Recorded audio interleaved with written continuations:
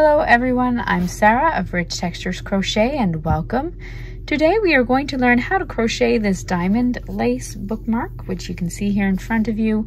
This is an easy to work bookmark and uh, makes a great uh, gift for yourself or for a friend or family member, perhaps to sell at a craft sale. This is an easy bookmark to work. To work it, you're going to need about 20 to 30 yards of a lightweight yarn. I'm going to be working with this Patons Grace yarn uh, today, which is a 100% cotton yarn. You're also going to need a 3.75 millimeter crochet hook, and then as well as a copy of the free written pattern, which can be found on my blog at richtexturescrochet.com, and the direct link is in the description of this video there for you. So thank you so much for joining me. While you're here, I invite you to subscribe and take a look around. This channel is updated weekly with free crochet patterns and stitch tutorials. Our pattern today is worked in rows. So we're going to start by working a slip knot and then by making a foundation chain of 46 chains.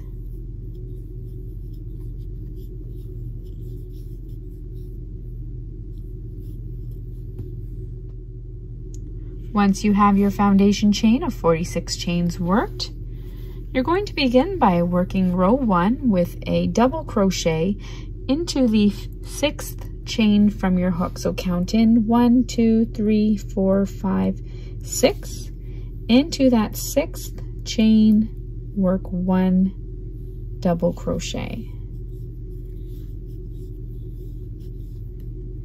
You're then going to chain one, skip one, and double crochet into the next stitch. You can then repeat that all the way across. Chain one, skip one, and double crochet into the next stitch. At the end of your row one, you can chain one and turn your work.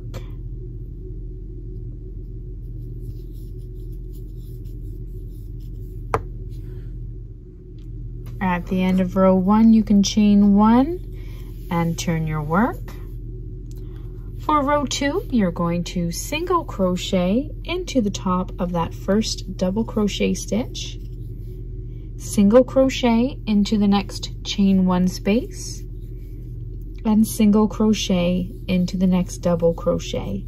You're then going to repeat that all the way across. Single crochet into the next chain one space, and single crochet into the next double crochet.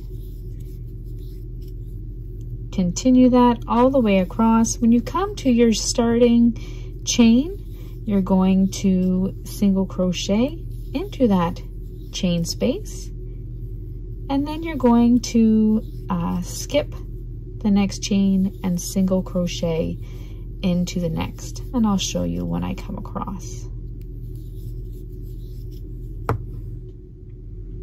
So you've come across to your starting chain space there you can work one single crochet into that space.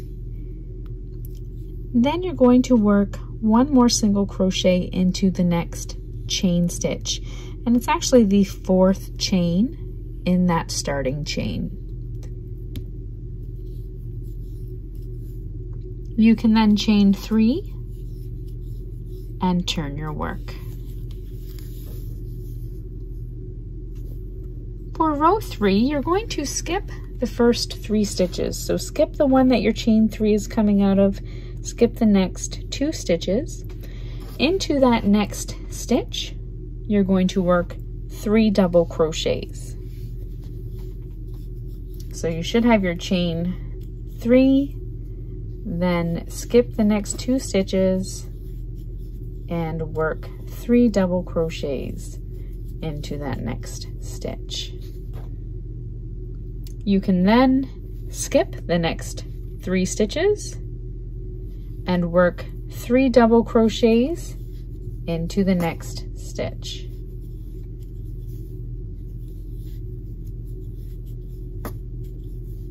You're going to repeat that all the way across. skip the next three stitches and work three double crochets into the next stitch.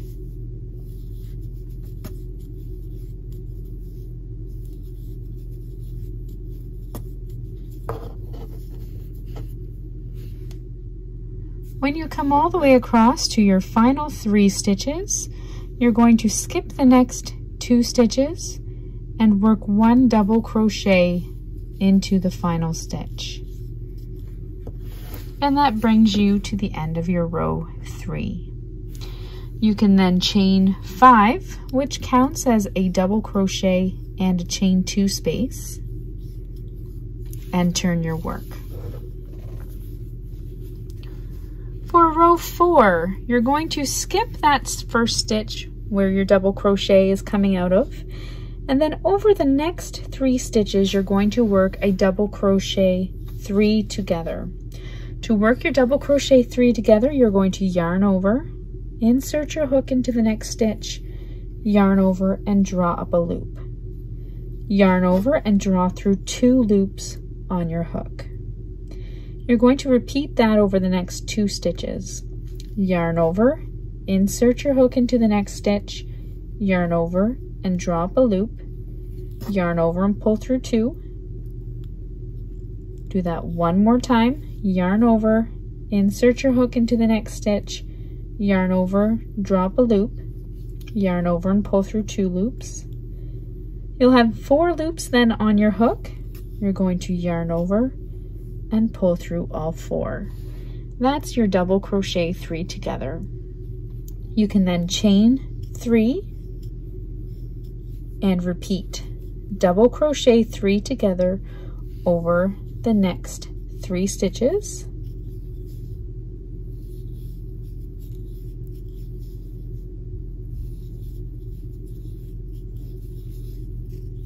and chain three double crochet over the next three stitches. Repeat that all the way across to the end where you will finish your last double crochet three together, chain two, and double crochet into that final stitch.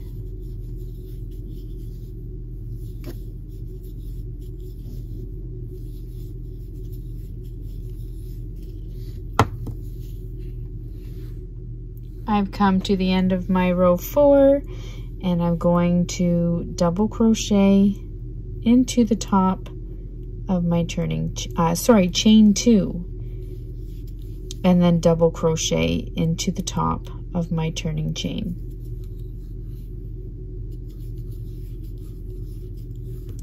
At the end of row four, you can then chain one and turn your work. For row five, we're going to single crochet into that first stitch and then work two single crochet into the next chain two space. Single crochet into the top of the next double crochet three together and then work three single crochet into the next chain three space. You're going to repeat that all the way across. Single crochet into the top of the next double crochet three together and work three single crochet into the next chain three space. When you come across to the end, you're going to work two uh, single crochet into your chain two space and then uh, skip the next those two chains that are under them and work a single crochet into the next chain on your turning chain. And I'll show you what I mean when I come across.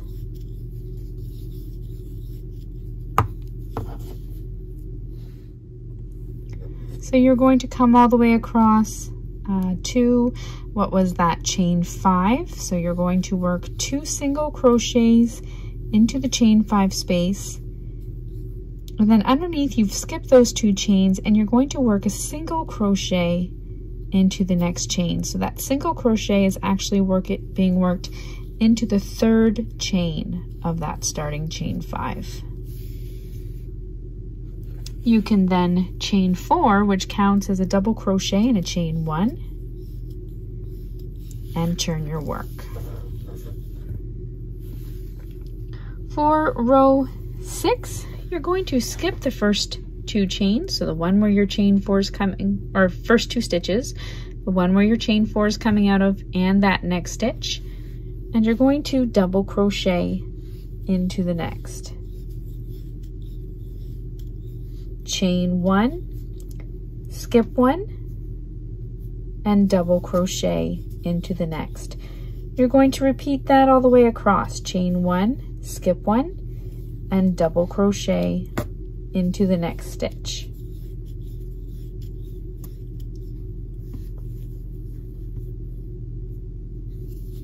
Once you come all the way across, you can chain one, turn your work, and do not fasten off. We will then work our edging. For the edging of our bookmark, you've chained one, you've turned your work. You're then going to work along this long edge and you're going to single crochet into each stitch. So into that first stitch and into each chain one space all the way across. So single crochet into each stitch and chain one space all the way across and continue working to uh, your corner stitch there.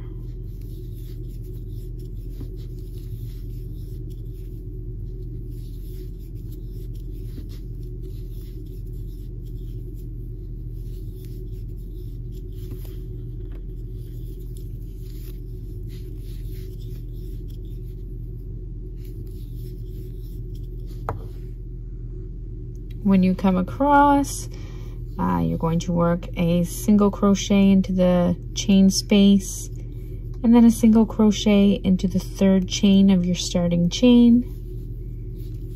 And that's going to be your corner stitch.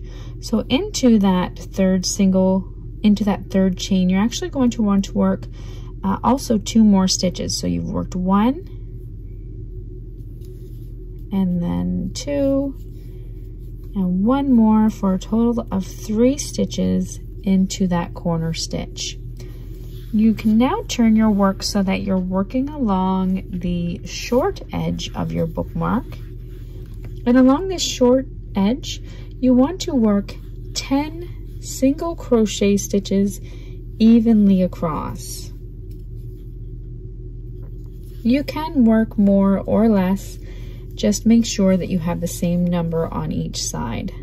So I'm here at four, five, and it should bring you to your corner stitch. Six, seven, eight, nine, and 10. Once you come across to your corner stitch, you're going to want to work into that corner stitch three single crochet stitches. There's one, two, and three, and it's going to bring you back along the opposite long edge. Once again, along this long edge, you're going to work one single crochet into each chain space and each stitch all the way across. When you come to that final stitch, work three stitches into your corner stitch. Once you come across to that corner stitch, which is actually going to be a third chain in that starting chain, you're going to work uh, three single crochet stitches into that corner stitch. And then once again, work 10 single crochet stitches evenly along that opposite side, or if you've worked more or less, just make sure they're the same number.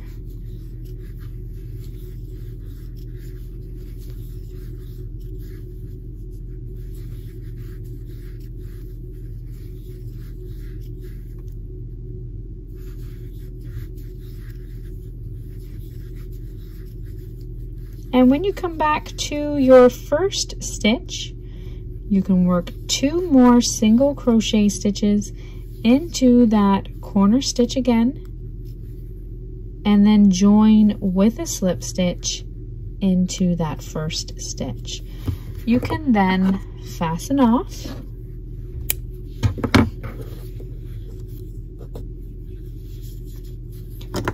and now using your yarn needle go ahead and weave in any of your loose ends.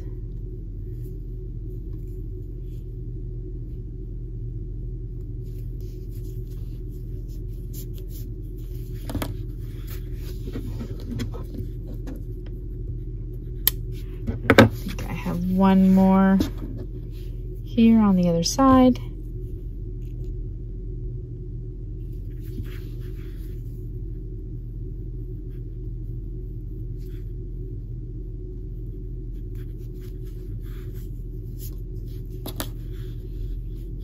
like so.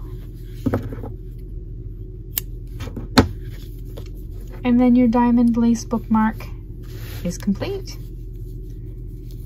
So thank you so much for joining me. And uh, once again, don't forget to subscribe. And I look forward to seeing you again next week.